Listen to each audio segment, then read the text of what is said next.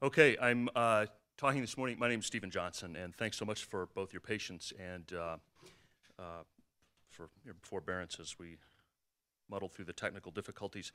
Um, I'm talking this morning about the uh, Census Bureau and OSM. Um, we've got a little project going on that we're working on, and I want to cover uh, loosely cover three things. I want to talk, give you a little bit of context about uh, Tiger, what it is, where it came from, and sort of set some context about um, the Census Bureau and its products, things like that.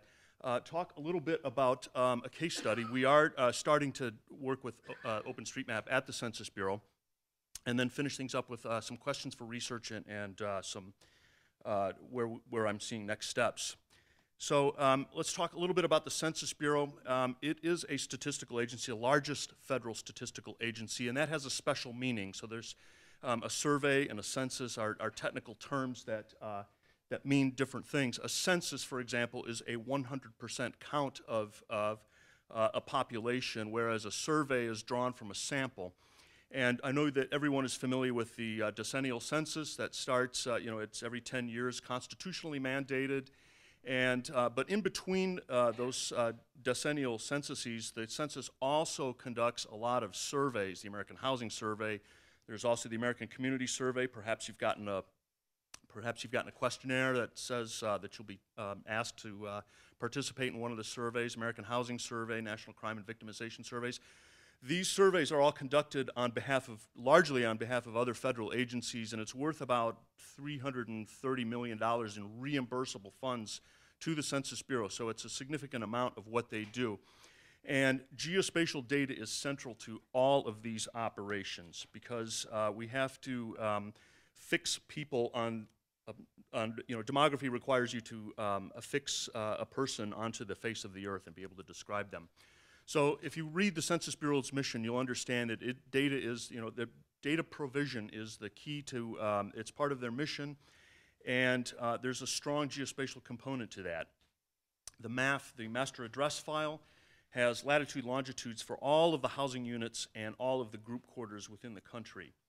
And that's protected by Title 13. It doesn't see the light of day, uh, and it won't for a while, but um, that's another matter. We'll talk about that later.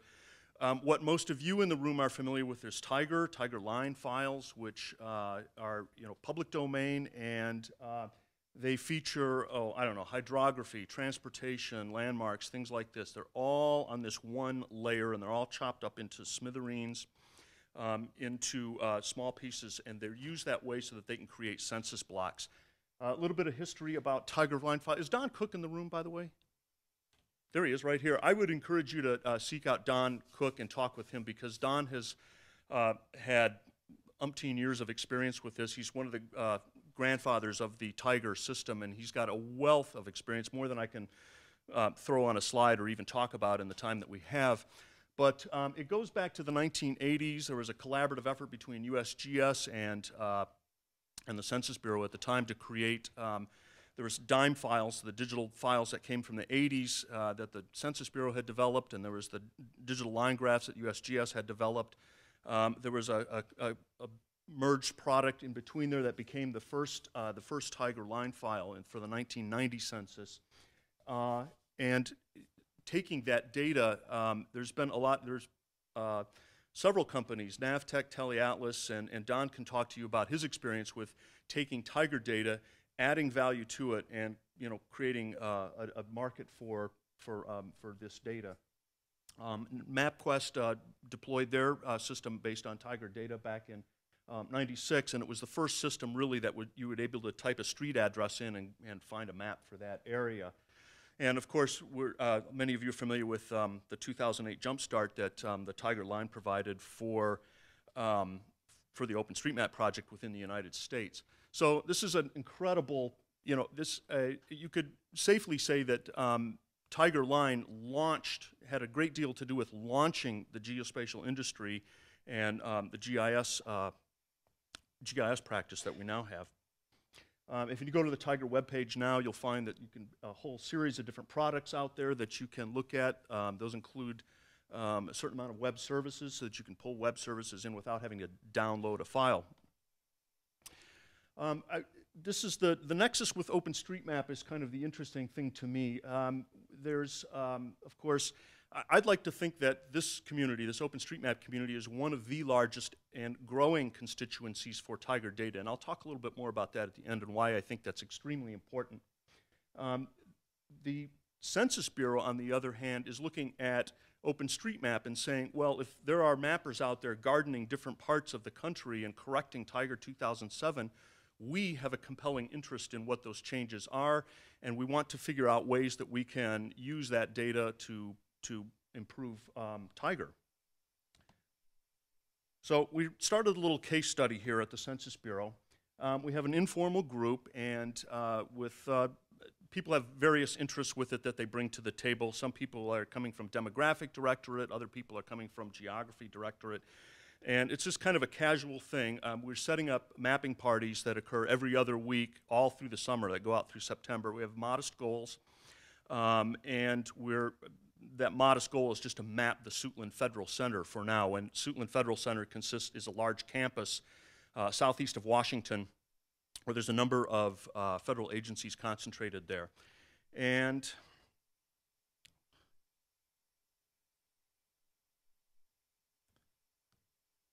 there we go. Um, you'll see this is the Suitland Federal Center uh, a few weeks ago on OpenStreetMap, and the Census Bureau is right at the center of that with that uh, bow-shaped looking building there.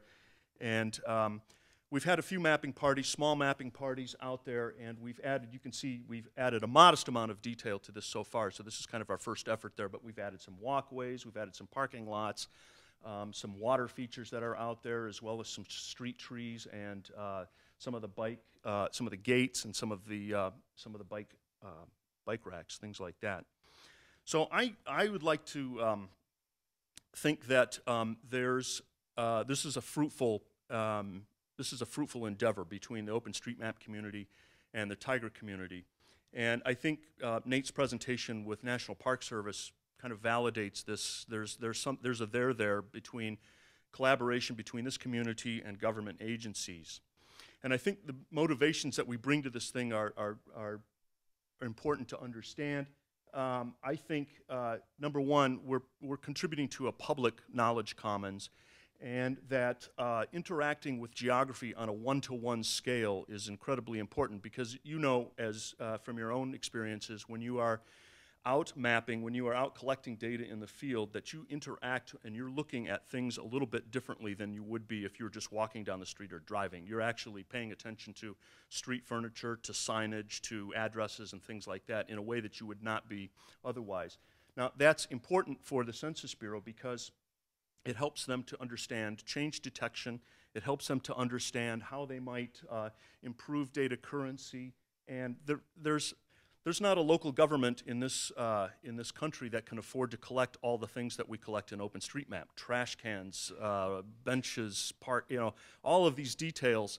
Um, OpenStreetMap is, is a great uh, platform for collecting a lot of this stuff because it supports all of that hyper-local detail. And that's important for things like maintenance and things that, um, and, and um, ongoing repairs and things like that that government agencies have to carry out. And I think from bureau people, um, there's a lot of uh, there's a lot of us who work at the Census Bureau who do not, um, e even though we're geographers in a lot of sense, we don't interact with geography on a one-to-one -one scale. And I think this is important for geographers to have this kind of field experience.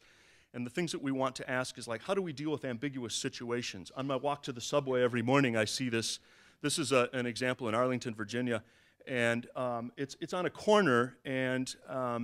So it has essentially it has two addresses. You know, it could be your 956 Fairfax Drive or 3601 Virginia Avenue. And um, so how do you how do you deal with this, and how do you reconcile this, and how do you you know I'm, I'm sure in your adventures out out mapping you've seen this sort of thing yourself, and this is important for us to kind of figure out how we how we tag these things responsibly and in ways that meaningful ways that we can do this.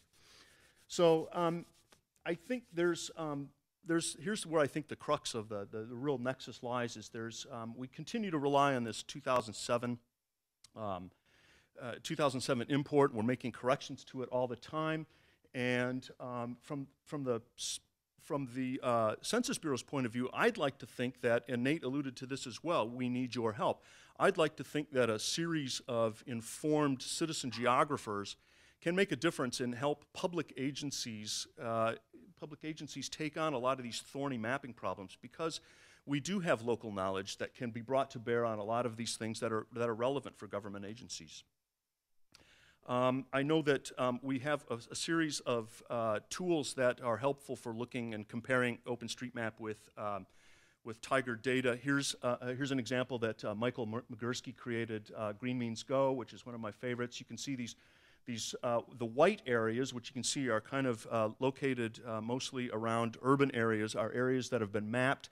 The green areas are areas that are not. Here's an example from Washington where you can see the district has been mapped quite well, so that's an area where we can say uh, we should not import Tiger 2012 on top of this. However, if we go west of town, we can see these dark green squares where nothing has been mapped in OpenStreetMap. And we can safely say, I think, or that's the premise of, of this tool, is that we could safely import Tiger 2012 on this and improve the data quality in OpenStreetMap without trampling on the efforts of other uh, mappers local to the community.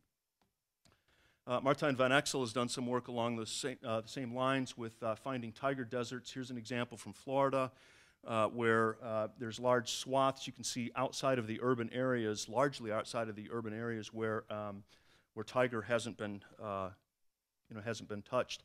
ITO World's got this nice tool where you can check the tiger reviewed status, whether it's tiger reviewed equals no.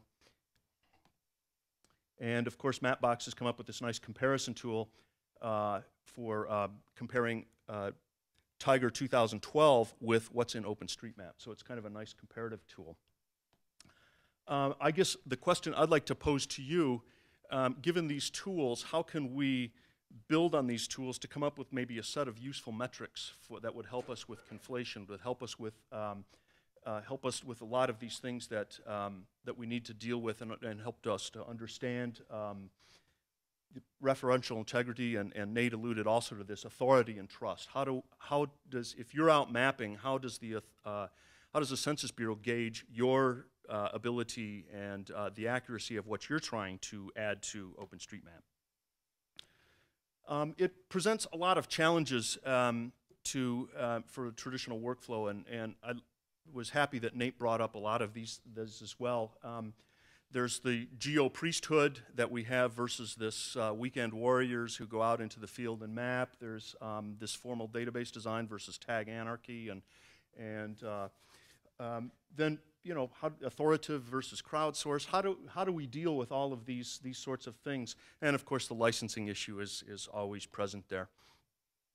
So um, what do we want to do next? Um, I think uh, that we as an OpenStreetMap community can benefit by better understanding of uh, Tiger, its origins, what it's used for within the Bureau, and how it supports Bureau operations, and that will help us to determine whether the goodness of fit for Tiger um, for as, as an import into OpenStreetMap. And I think uh, it helps us to uh, understand and scrutinize the data quality. We've got some great tools that you know we've we know where um, we know kind of where Tiger hasn't been improved, and we've got some tools that we can use to evaluate that. I think that uh, also um, that um, I've said it earlier that we are this community is a very large constituency for census data, and that the OpenStreetMap platform can be expanded. I was happy to see Nate's examples of, of how that architecture diagram and showed kind of an architectural way that we can uh, foster that kind of uh, foster that kind of engagement with it. And if you take nothing else away from this presentation, here's what I would like to um, say. If you believe in strong public institutions that, um, um, like the Census Bureau, and it, it's imperative that they have a constituency for their data products. Because if they don't have a constituency for their data products, they will go away. And I think that um, the value of uh, a lot of the demographic data that the Bureau produces, the, the maps that you saw for um, National Park Service, these are incredible public goods. And, and it, this community can do a lot to uh, bolster and enhance that, um, enhance that um, public function and public good. And uh, it's a social good and it's an economic good. So I think um, it's a, we are a source of uh, citizen collaboration, uh, citizen collaborators with, and citizen geographers that we can contribute to we can contribute and uh, help this Bureau and we can help the National Park Service and all of these other agencies with, with our uh, with our expertise, our field observations, and things like that. It's also important to recognize that there are a lot of geographers within the um, within the Census Bureau, and we, we truly do stand on the shoulders of giants here uh, in that we have, we are, you know, continuing on what uh, tradition that they've started. And um, they've thought long and hard about a lot of these problems with addressing, with how to represent things. And we can learn a lot from, the, from that community. So that's all I have, and I'd like to uh, open the floor for questions. Yes?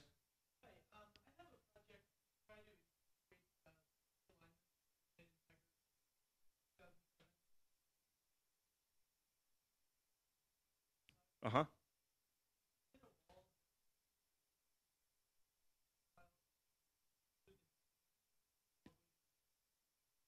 Right.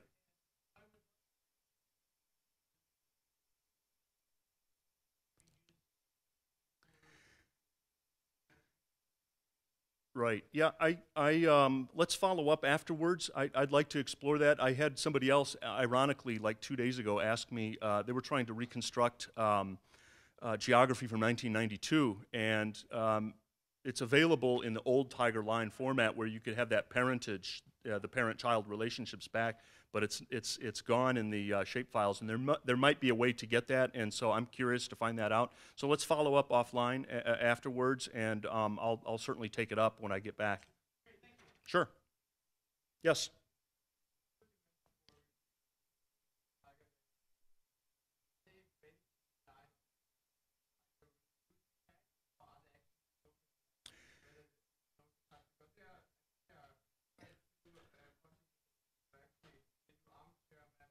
Yes.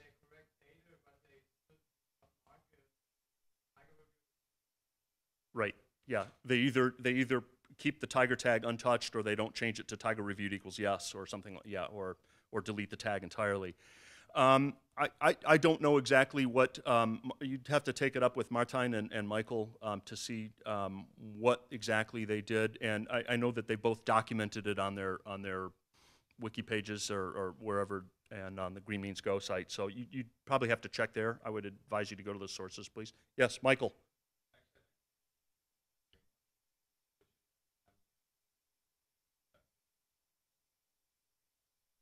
Have you, sim- have you thought about simplifying the tags so that newer editors, for example, people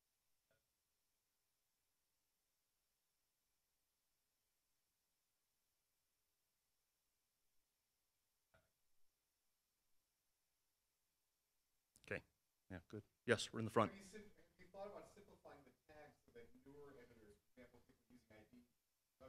to do with them for modifying data? Uh, no, I haven't thought about uh, simplifying the tags, and that's that's um, I, I haven't really um, haven't felt it necessary to to really do that, and I'd, I'd rather kind of that comes out of organically out of the users within the bureau looking at their classification systems vis-a-vis the OpenStreetMap and see where the, um, to let them come up with that sort of thing. And, and frankly, we're, we're so early on in the project that, um, that it hasn't been a real, it hasn't been an issue yet. So um, we're, in six months, that, ask me that question again in six months and, and I'll have a, a better answer for it. Yes. Oh, yes. Uh,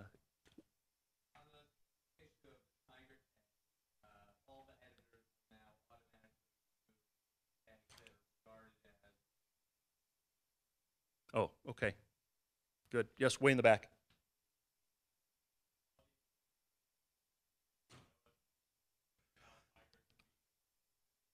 Yes, um, the, um, there's a, a, program within the Geography Division called the Boundary and Annexation Survey. And um, that program solicits uh, boundary files from state and local governments. There's a very strong uh, state and local tribal government uh, component within the Geography Division, and they have extensive um, partnerships set up with all 3,149 counties and, and all the 50 states um, to um, receive files. So more and more of those um, files are, are coming to the Census Bureau digitally. And those um, typically, I, you know, I don't know what local mapping standards are uh, typically, but um, the accuracy is much, much improved from what it used to be even 10 years ago when I think the accuracy was like 1 to 250,000, something like that. So Um, it's, it's much more improved. The, the, the, um, the updates occur much more frequently. And if you go to the Tiger page, you'll, you'll see that you're able to get downloads of multiple vintages of Tiger. So um, there's 2010, 2011, 2012. You can get it joined with demographic data. You can get it without demographic data. You can do, uh, there's a lot more products available now. So um, the quality um, is reflective of what comes to the Bureau from state and local governments. Yes?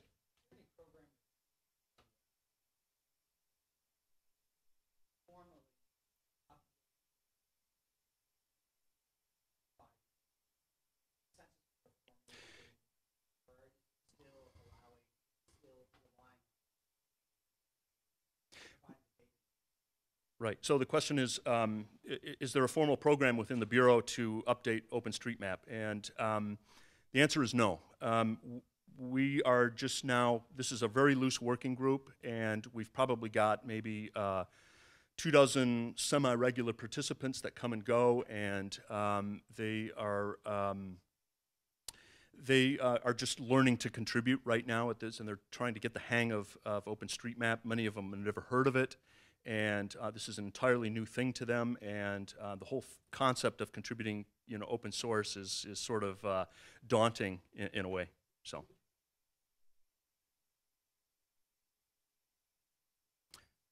Questions anymore? Very good. Thank you so much.